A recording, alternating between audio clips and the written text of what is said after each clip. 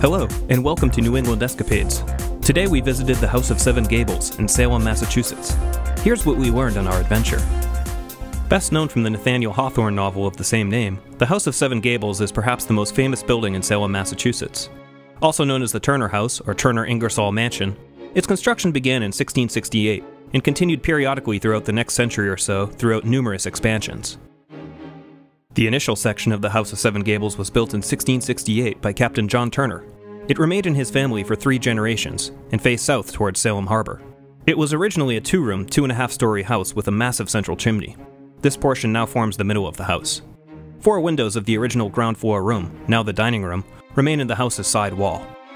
A few years later, a kitchen lean to and a new north kitchen ell to the rear of the house were added, by 1676, Turner had added a spacious south extension with its own chimney, containing a parlor on the ground floor, with a large bedchamber above it. The new wing featured a three gabled garret. After John Turner III lost the family fortune, Captain Samuel Ingersoll, a wealthy ship captain, purchased the property. He oversaw several alterations to the house in the name of modernization throughout the years, rendering it nearly unrecognizable to the home as it once stood. After his death in 1804, his daughter Susanna Ingersoll inherited the property, Miss Ingersoll was the second cousin of Nathaniel Hawthorne.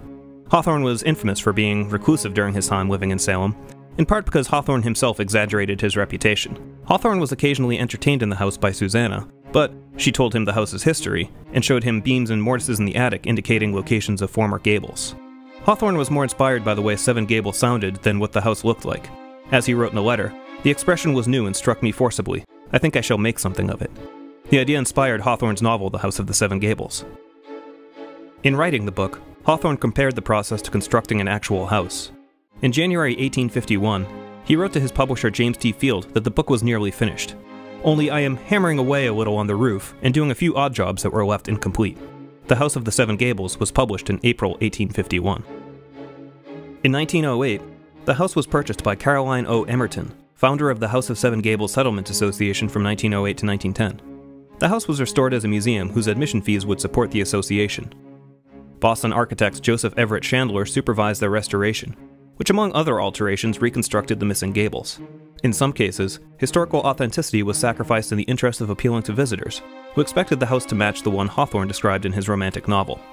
For example, Emerton added a cent shop, resembling that operated by the author's fictional character Hepzibah Pynchon. She also added what looks like a wood closet but has a false back. When opened, the back leads to a secret staircase, which leads up to the attic. Today, the House of the Seven Gables encompasses a property featuring several buildings, as well as a beautiful garden, and it sits right at the edge of the harbor facing Marblehead. There are regular tours that give much more information on the house than we ever could, as well as access to the grounds. Each October, an event called Spirits of the Gables is performed in the house. Actors appear in various rooms of the house, with each providing a piece of Hawthorne's story. It's a fun and different way to experience the house, as well as the literature that it inspired. Located at 115 Derby Street in Salem, Massachusetts, the House of the Seven Gables is about a 40 minute drive from Boston. It's a great place to visit and enjoy the history and views, though we'd recommend planning for extra driving time if you plan to visit in October. Thank you for watching, and keep on adventuring.